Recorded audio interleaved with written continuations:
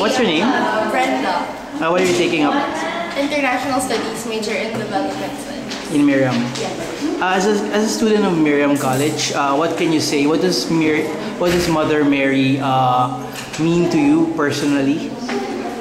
Uh, for me, Mother Mary is a model of service and volunteerism. I think Alright. uh, more than the Maryknoll sisters, it's really Mary who exemplified true volunteerism. So whenever I volunteer, it's always her who I look up to and who I use as my inspiration. Like a role model.